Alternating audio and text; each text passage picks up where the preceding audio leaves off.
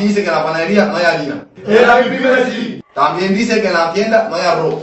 Era mi pyme sí. Y lo más lindo, en la carnicería no hay pollo. Era mi pyme sí.